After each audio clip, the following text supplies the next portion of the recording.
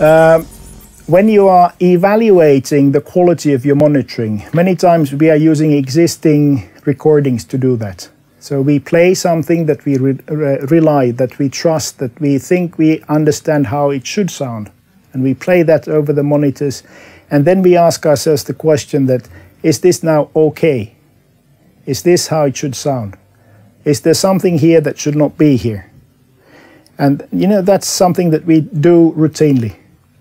And when we do this, we actually are in this interesting situation uh, regarding our decision making. There's a certain uh, circle of confusion. I think this uh, has been coined by Floyd Toole, this term, in one of his, his uh, publications, where he recognizes that uh, a recording has been made sometimes somewhere using some tools, and there has been some monitoring that has affected the recording process that has produced the content of what you are listening to.